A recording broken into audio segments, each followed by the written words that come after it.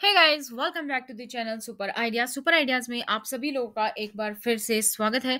आज की इस वीडियो में मैं आपको बताने वाली हूँ कि आखिर करवा चौथ क्यों मनाया जाता है। कौन है करवा माता? कैसे करवा चौथ का नाम पड़ा? आज के इस वीडियो में सभी बातों पर हम नज़र डालेंगे। इससे पहले अगर आप लोग इस चैनल पर नहीं है, अभी तक आप लोगों ने इस चैनल को सब्सक्राइब नहीं किया है तो चैनल को सब्सक्राइब करें। साथ ही बेलाइकन को प्रेस कर लीजिए ताकि जैसे ही वीडियो अपलोड होती है, उसकी नोटिफिकेशन आप लोगों को मिल सके। तो चलिए शुरू करते हैं आज की इस वीडियो को भारतीय महिलाओं के लिए करवा चौथ, सबसे महत्वपूर्ण त्यौहार। यह व्रत अखंड सौभाग्य की प्राप्ति, पति की लंबी उम्र की कामना के लिए किया जाता है। द्वापर युग से लेकर कलयुग तक यह पर्व उतनी ही आस्था और विश्वास से किया जाता है जैसा द्वापर युग में किया जाता था।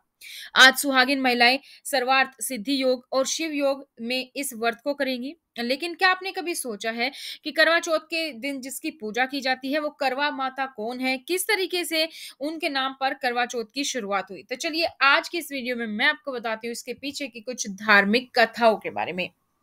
पौराणिक कथा के अनुसार प्राचीन समय में एक करवा नाम की पतिव्रता स्त्री थी। उनका पति काफ़ी उम्र दराज था। एक दिन वह नदी में स्नान करने गया तो नहाते समय एक मगरमच्छ ने उसका पैर पकड़ लिया और निकलने के लिए खींचने लगा। उसने चिल्लाकर अपनी पत्नी करवा को बुलाया और सहायता के लिए कहने लगा। करवा बहुत पतिव्रता थी, जिससे उसकी सतीत्व में काफ़ी बल था। करवा नदी के तट पर अपने पति के पास पहुंचकर सूती साड़ी से धागा निकालकर अपने तपोबल के माध्यम से उस मगरमच्छ को अपने तपोबल के माध्यम से उसने बाँध दिया। सूत के धागे से बांधकर करवा मगरमच्छ को लेकर यमराज के पास पहुँची। यमराज ने करवा से पूछा कि, हे देवी, आप यह क्या कर रही हैं और आप क्या चाहती हैं?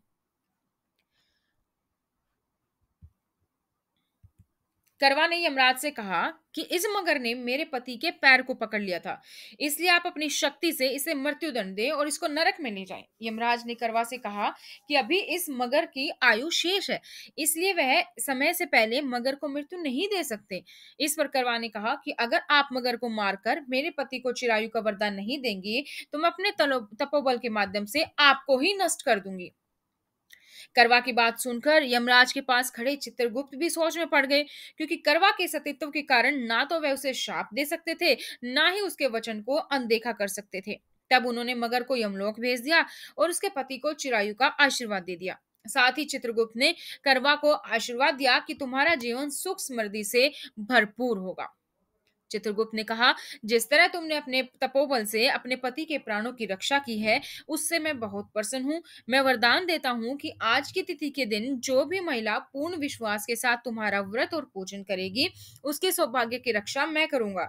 उस दिन कार्तिक मास की चतुर्थी होने के कारण करवा और चौथ मिलने से इसका नाम करवा चौथ पड़ गया। इस तरह माँ करवा पहली महिला है, जिन्होंने सुहाग की रक्षा के लिए न केवल व्रत किया, बल्कि करवा चौथ की शुरुआत भी की। यहीं से करवा से नाम पड़ा करवा चौथ। तो करवा चौथ के व्रत को करने के बाद शाम को पूजा करते समय माता करवा चौथ कथा पढ़नी चाहिए। साथ ही माता से विनती करनी चाहिए कि, हे माँ, जिस प्रकार आपने अपने सुहाग और सौभाग्य की रक्षा की, उसी तरह हमारे सुहाग की आप रक्षा करें। साथ ही यमराज और चित्रगुप्त से विनती करें कि वह अपना व्रत निभाते हुए हमारे व्रत को स्वीकार करें और हमारे सौभाग्य की रक्षा करें। इसके बाद भगवान श्री कृष्ण के कहने पर द्रौपदी ने भी इस व्रत को किया था, जिसका उल्लेख वारा पुराण में भी मिलता है। तो दोस्तों, ये थी आप लोगों के लिए कहानी।